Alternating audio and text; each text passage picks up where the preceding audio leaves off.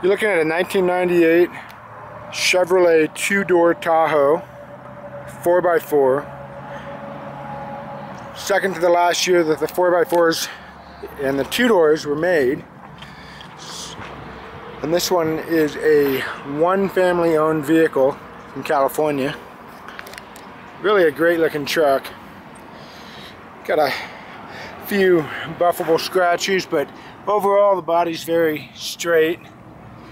Appears to be original paint. The original factory wheels, radio.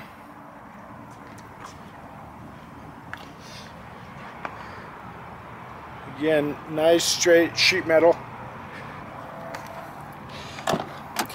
Inside the LS has the cloth interior. It currently has 175,400 miles on it. The original radio, push button four wheel drive, center console, no rips or tears in the seat. Very good condition. The, the headliner is very nice. The carpet is in good condition with only a few spots here and there. But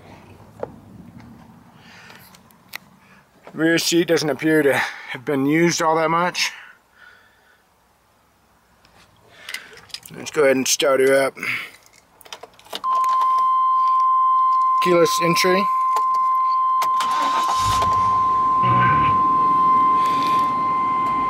No weird lights on the dash.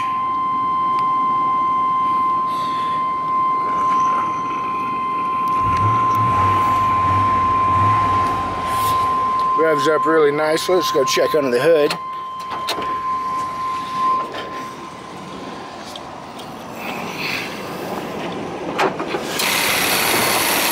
The original unmodified 5.7 liter V8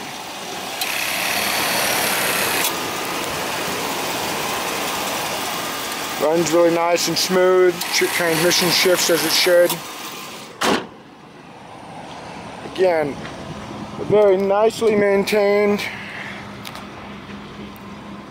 1998 Chevrolet two-door Tahoe four-wheel drive. Very original truck.